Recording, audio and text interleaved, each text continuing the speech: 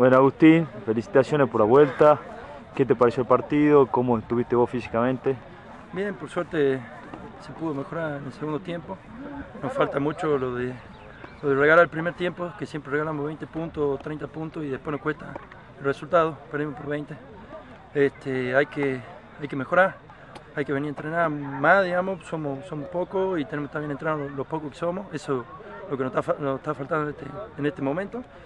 Este, y con respecto a lo mío, gracias a Dios pude volver, me siento bastante bien, falta todavía, tengo que agarrar el ritmo, estoy cansado, pero de a poquito vamos teniendo. ¿Jugaste, ¿Jugaste la intermedia también, como para comenzar? Sí, sí, jugué el fin de semana pasado, jugué en la pre, un tiempo y un poquito, y este, hoy también en la Inter, y bueno, quedé unos minutos para el final en la primera.